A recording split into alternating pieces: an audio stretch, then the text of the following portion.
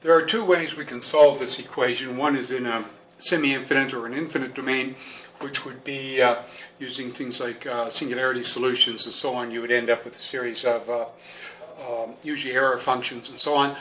The other way is if this is a finite region, I'm claiming this to be a finite region, and we will solve it for a finite region, which means uh, uh, we will use separation of variables, which is very straightforward.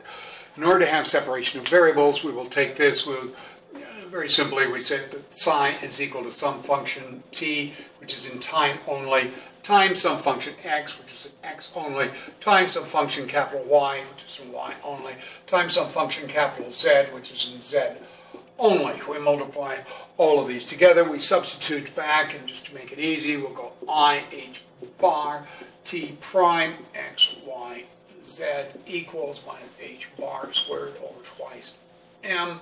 Da, da, uh, t x double prime y z plus t x y double prime z plus uh, t x y z double prime doom plus v times t x y z. Managed to get it all into the board.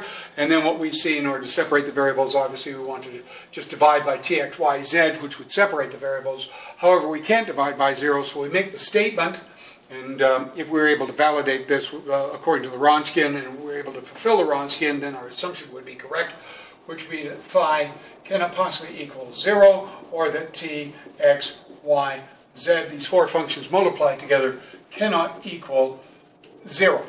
Okay, so we now divide by t, x, y, z, divide by t, x, y, z, divide by t, x, y, then, etc.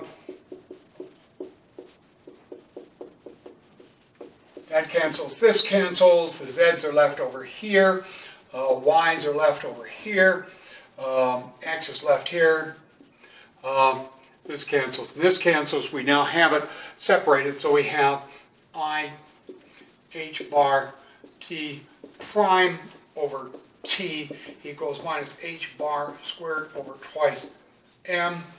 Variables are separated nicely. x double prime over x, y double prime over y, z double prime over z, uh, plus a constant v, which means, of course, it separates out because a linear function. We end up with the constant at the end. So now we can set forward the eigenvalues for each of these terms and, um, and then be able to move to a general solution of Schrödinger's equation.